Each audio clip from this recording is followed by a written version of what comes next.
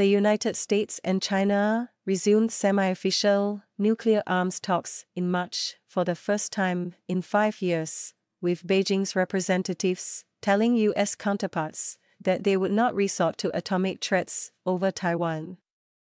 According to two American delegates who attended, the Chinese representatives offered reassurances after their U.S. interlocutors raised concerns that China might use, or threaten to use, nuclear weapons if it faced defeat in a conflict over Taiwan.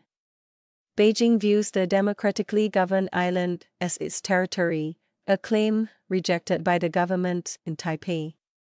They told the US side that they were absolutely convinced that they are able to prevail in a conventional fight over Taiwan without using nuclear weapons. Said scholar David Santoro, the US organizer of the Track 2 talks, the details of which are being reported by Reuters for the first time. Participants in Track 2 talks are generally former officials and academics who can speak with authority on their government's position even if they are not directly involved with setting it. Government to government negotiations are known as Track 1. Washington was represented by about half a dozen delegates, including former officials and scholars, at the two day discussions, which took place in a Shanghai hotel conference room. Beijing sent a delegation of scholars and analysts, which included several former People's Liberation Army officers. A State Department spokesperson said in response to Reuters' questions that Track 2 talks could be beneficial. The department did not participate in the March meeting, though it was aware of it. The spokesperson said. Such discussions cannot replace formal negotiations that require participants to speak authoritatively on issues that are often highly compartmentalized within Chinese government circles the spokesperson said. Members of the Chinese delegation and Beijing's defense ministry did not respond to requests for comment. The informal discussions between the nuclear armed powers took place with the US and China at odds over major economic and geopolitical issues. With leaders in Washington and Beijing accusing each other of dealing in bad faith. The two countries briefly resumed track one talks over nuclear arms in November, but those negotiations have since stalled. With a top US official publicly expressing frustration at China's responsiveness. The Pentagon, which estimates that Beijing's nuclear arsenal increased by more than 20% between 2021 and 2023, said in October that China would also consider nuclear use to restore deterrence if a conventional military defeat in Taiwan threatens CCP rule. China has never renounced the use of force to bring Taiwan under its control and has over the past four years stepped up military activity around the island. The Track 2 talks are part of a two decade nuclear weapons and posture dialogue that stalled after the Trump administration pulled funding in 2019.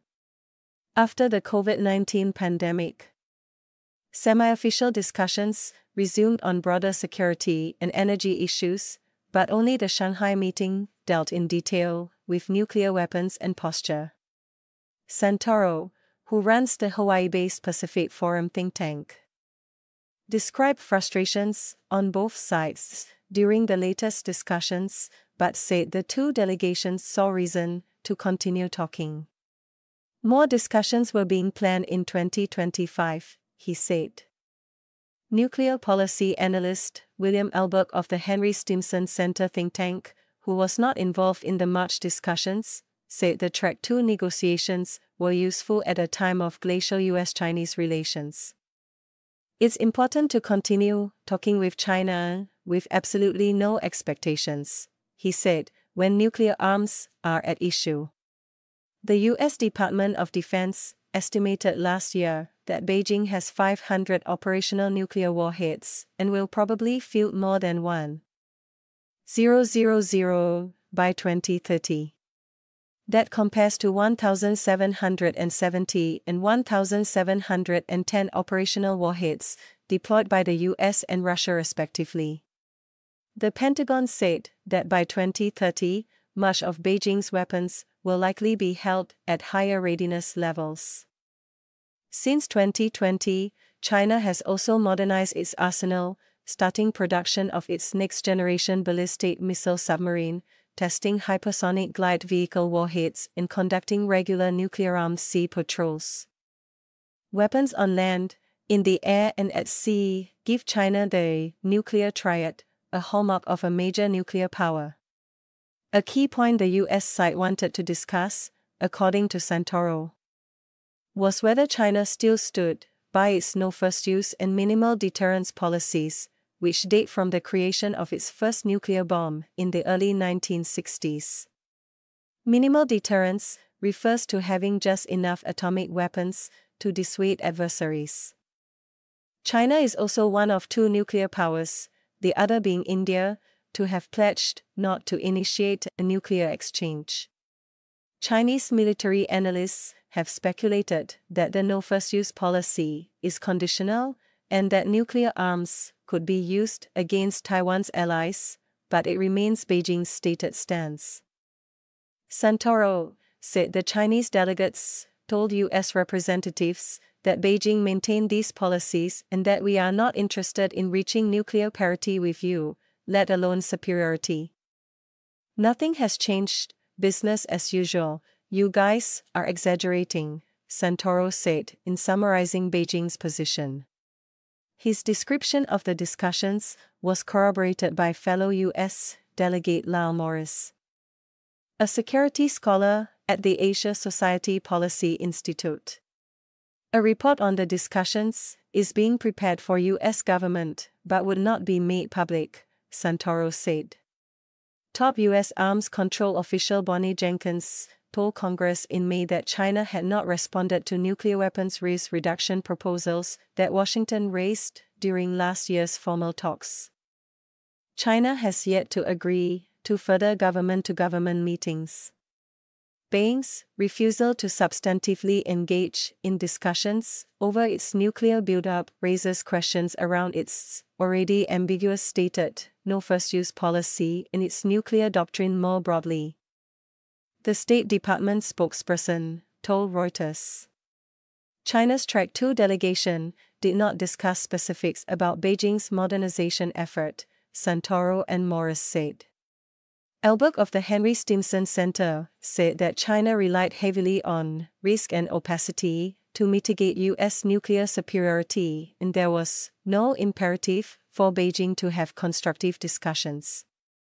China's expanded arsenal, which includes anti ship cruise missiles, bombers, intercontinental ballistic missiles, and submarines, exceeded the needs of a state with a minimal deterrence and no first use policy.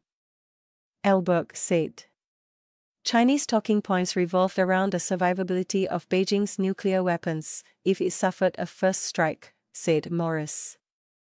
The US delegates said the Chinese described their efforts as a deterrence based modernization program to cope with developments such as improved US missile defenses, better surveillance capabilities, and strengthened alliances. The US UK and Australia last year signed a deal to share nuclear submarine technology and develop a new class of boats. While Washington is now working with Seoul to coordinate responses to a potential atomic attack. Washington's policy on nuclear weapons includes the possibility of using them if deterrence fails.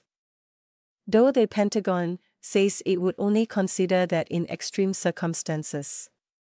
It did not provide specifics. One Chinese delegate pointed to studies that said Chinese nuclear weapons were still vulnerable to US strikes, their second strike capability was not enough. Said Morris.